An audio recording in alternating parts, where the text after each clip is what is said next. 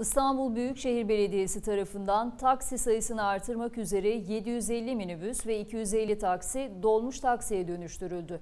4000 minibüsçünün başvurduğu minibüs hattının sadece bini çekilen kurayla taksiye dönüştürüldü.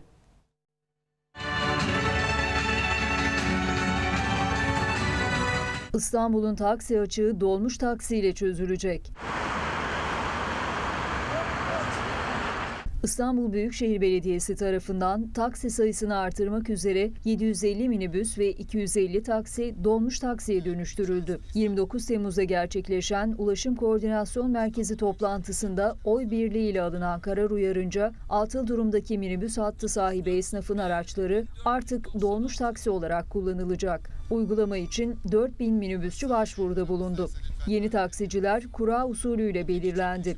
Üçüncü hak sahibimiz şu an itibarıyla kutusu alındı, belirleniyor.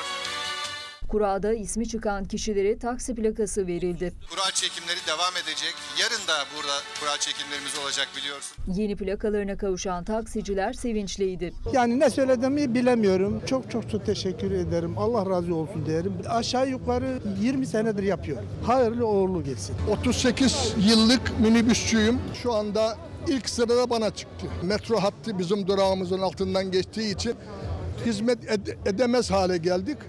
İşte şu anda e, şu anda taksiye dönüştüğümüz iyi oldu. Hayırlı olsun.